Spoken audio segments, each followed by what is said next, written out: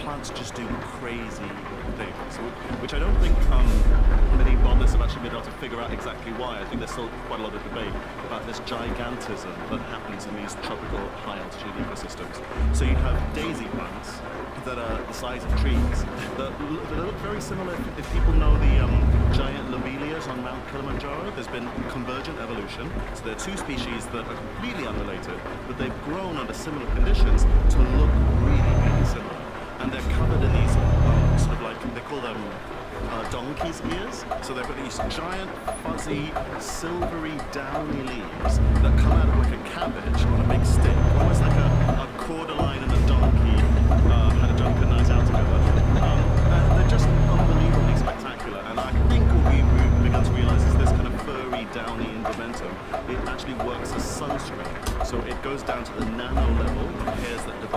then divide again and then divide again. And effectively they filter out UV light using physical action. Um, but the reason why these suddenly appear when, you know, just a few hundred meters below the, the plants are tiny, I don't think anyone's figured out. So it's just, it's like, uh, it's like going to Mars, but on planet Earth. Yeah, still so much we don't know. Even me. Even James. You're listening to Gardener's Best Time with me, Peter Gibbs, and on my panel today are Bob Flowerdew, Christine Walkden and James Wong, and of course our audience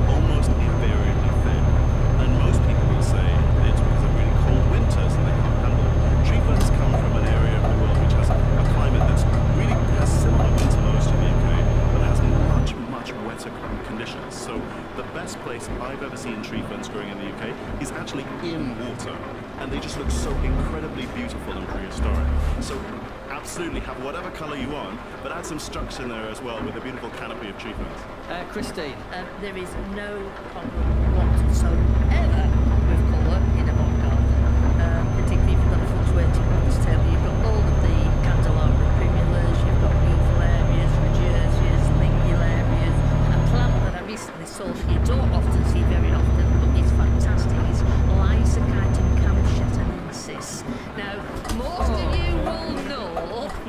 you will know um, Lysichiton americanum, the yellow skunk cabbage, and that's had very bad press recently because it sees if it gets out into the wild it can reproduce and cause big problems.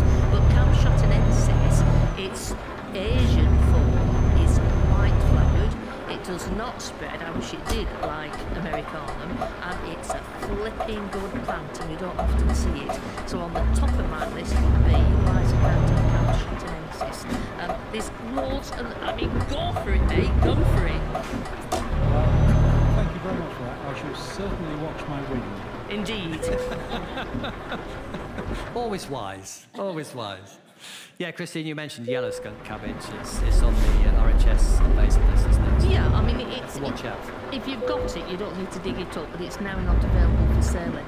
Americanum is bad news, but Camtschatcensis is very desirable plant indeed. Excellent. Sounds like you're going to have a great feature there. Thanks for your question. Uh, let's take another one, eh? Hi, good afternoon, uh, panel. Um, Lisa Hannigan, uh, Hatfield Peveril. Um, I've got a lovely pink rose hedge, it's Harlow Carr, around my greenhouse. I've noticed that the new stems seem to have more thorns